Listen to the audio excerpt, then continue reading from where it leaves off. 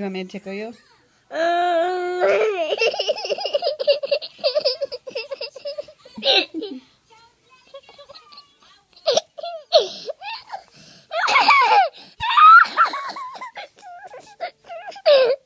Do you like it when mommy tickles you?